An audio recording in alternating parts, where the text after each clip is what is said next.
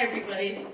I'm really happy to be here with all of you, and it's nice to be in a room full of like enthusiastic and interested uh, students. So Annette pretty much gave my, my speech away, but that's okay. Um, so, excuse me.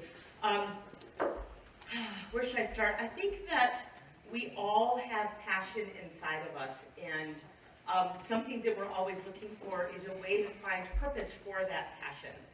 And mine began, so my parents tell me, when my mother was nine months pregnant with me, and she was taking uh, an opera class, and she was holding a score, and she doesn't remember what it was, but apparently this huge crescendo came up, and I kicked so hard with reaction to the music in the room that the score went flying off the page.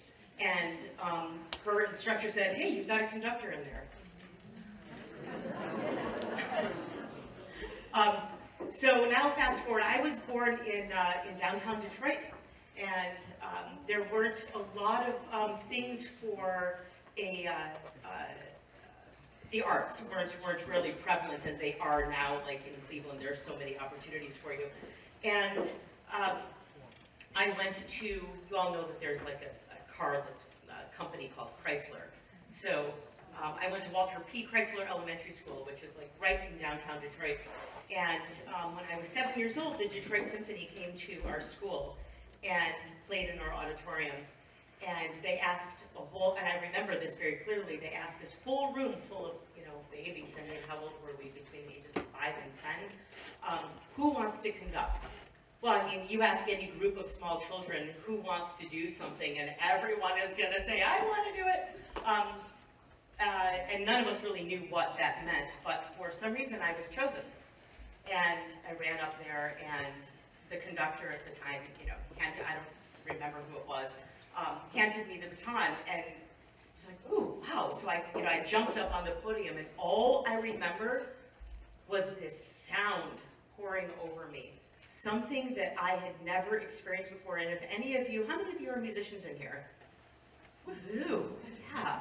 Okay, so you can imagine um, standing in the center of all of that sound. If you've never stood on a podium before, it's something that you should ask Mr. McDougall if you can do. Um, and just being completely enveloped by all of that oxygen and all of that life force. And this is something that rolled over me as I was seven years old. And um, of course, I don't, obviously I wasn't conducting them, they were leading themselves, but I certainly felt like I had some control over what was happening.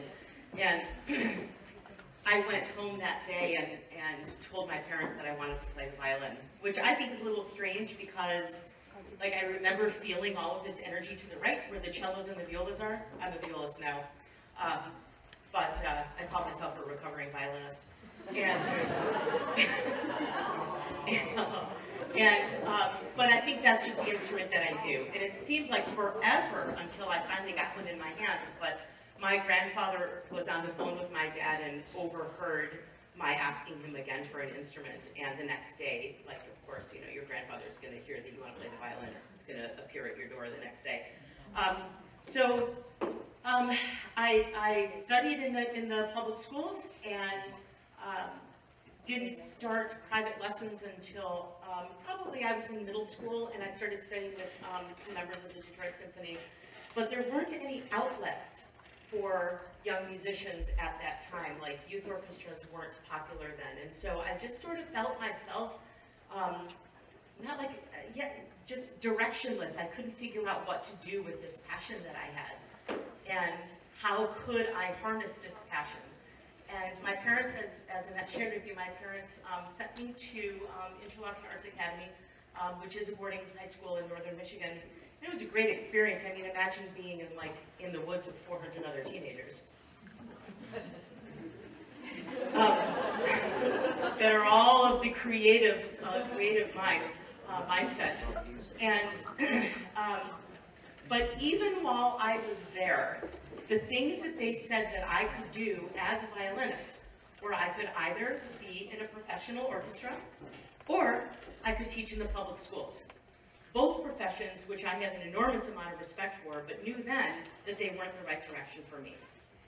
But they didn't send, they, even at this focused art school, uh, they still didn't help me find a direction that suited who I was, which made me feel almost more lost than I was before I went there.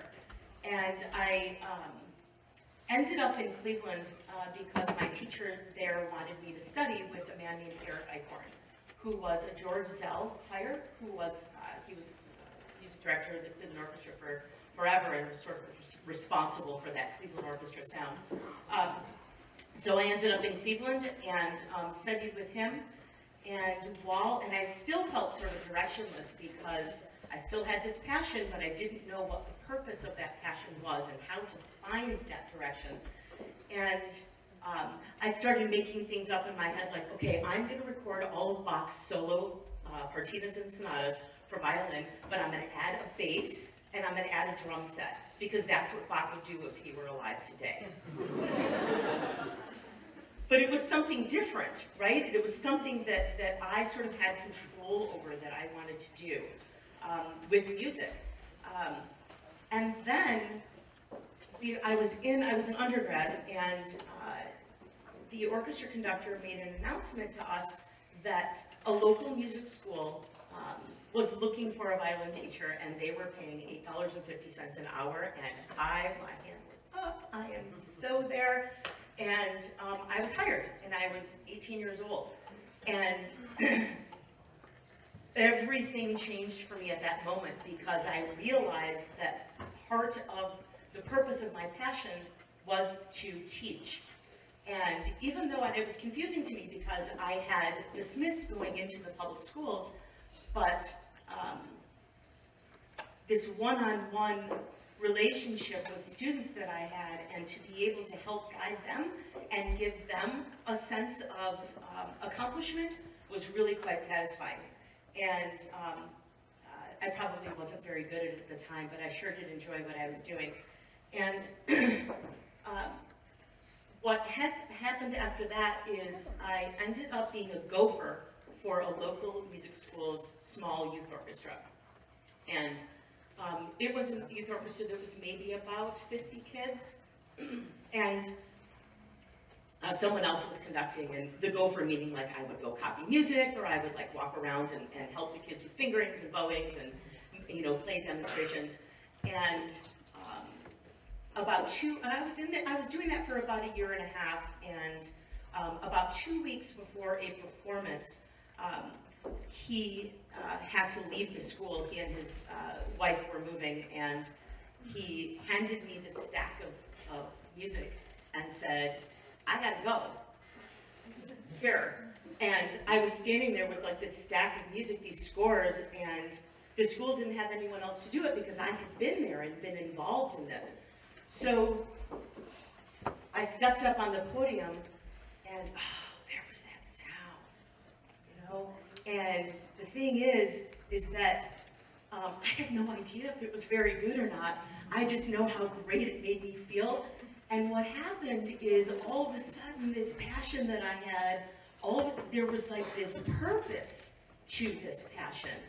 And I wanted to be everything that I could be, and I wanted to be the best teacher that I possibly could be.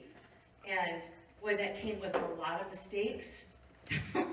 and um, you, you try and you fail and, and you learn from these. Um, and I just, I find that, that like teaching and music and medicine and all of these, these other wonderful uh, um, careers and paths, you never stop learning. That's not like you stop. Like, I've learned everything. I know everything. I've been conducting for 25 years at this point. Now insert surprise. Um, and uh, there's still so much more to learn. Um, but I discovered at that point that, oh my oh, oh my goodness, I want to be a youth orchestra conductor. And I was, you know, I was 19 and a half years old, and, and there it was in my lap. And there was passion turning into purpose. And I realized also at that point that I had no interest in using the youth orchestra as a stepping stone to get to the professional orchestra level, that I was super happy where I was. So um, I stayed there for five years, and um, developed an orchestra camp. Well, it was a string camp and then um, developed it into an orchestra camp. And so I was busy year round and um, honing my craft, even though I didn't realize that's what I was doing, but I was becoming not just a better teacher, but I was becoming a better administrator, and I was becoming a better conductor, and I was becoming a better communicator.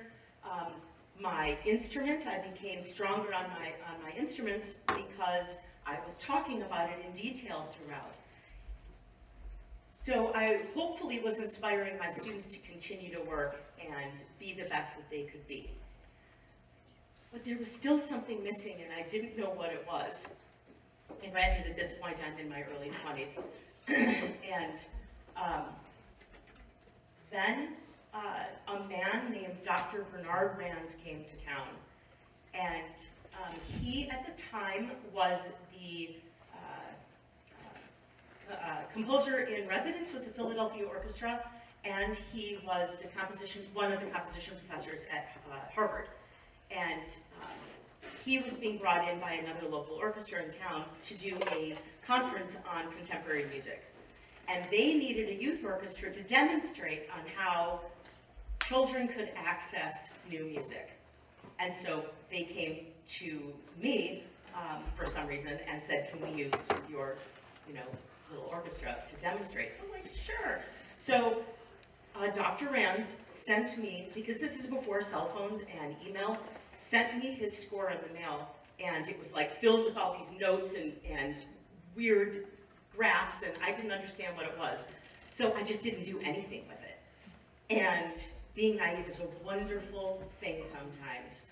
And I just left it, and I didn't do a thing with it. And then Dr. Rands shows up to rehearsal, and he says, oh, he's, he's English and so lovely. And he said, oh, I can't wait to hear what you've done with this. And I was like, well, I haven't done anything with it because I don't really understand it.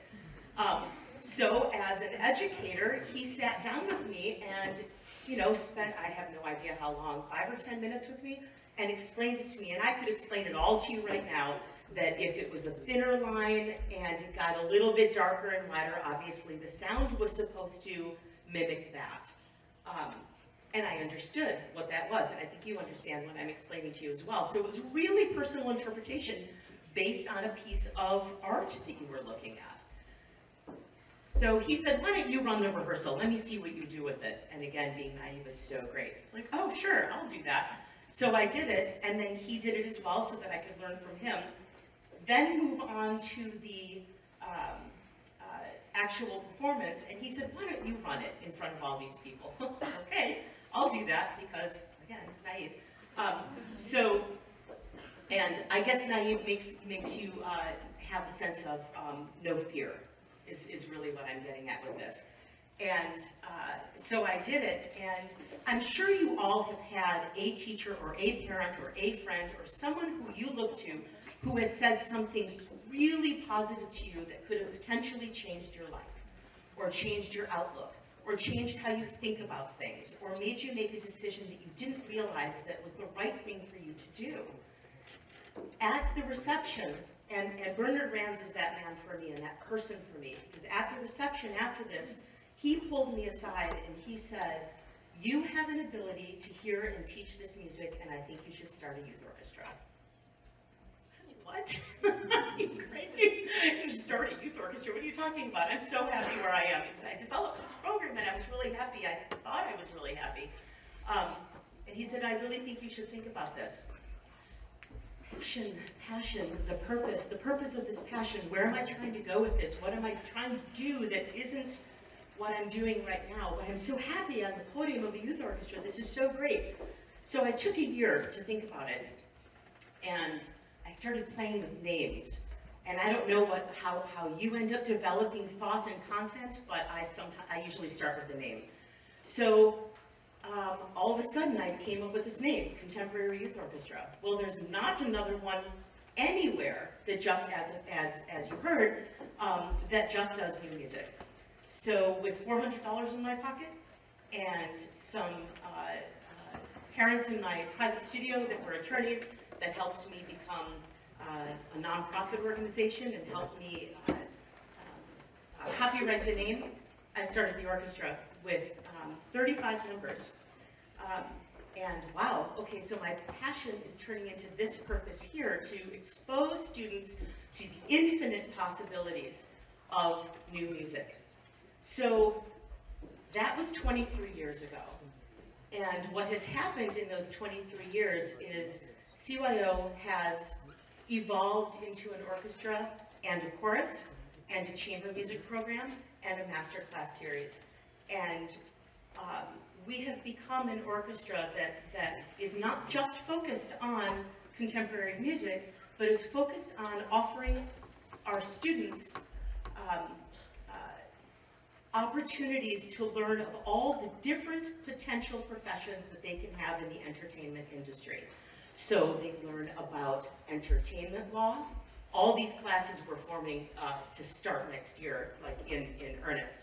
So entertainment law and media and marketing and lighting design and stage design and recording and photography and videography and composition, all of these different things that make an, uh, a, a show happen. And so where is the passion and where's the purpose in this? The purpose in this for me is to make sure that my students have the confidence to create their own careers, to be independent thinkers, and to be comfortable with the decisions that they make for themselves. And how is that possible through an orchestra? Well, if you think about this through new music, you don't have the opportunity to listen to a recording and say, I have to play it just like that, instead, which is fine. But instead, you have to rely on your own instincts and your own choices and decision making to bring to life something that has not been brought to life before.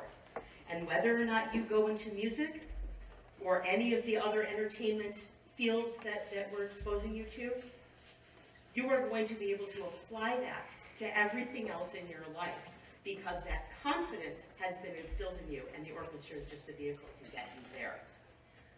Um, one of uh, my favorite moments um, is uh, seeing the faces of my students when they accomplish something or when they know that they can raise their hand in rehearsal and say, can we try this phrase like this? Because in order for music to be um, owned, for you to own your art, you have to have a say in it as well. And so to create that atmosphere where there's comfort to be able to have a say in the interpretation is magic because you're going to be able to take that elsewhere.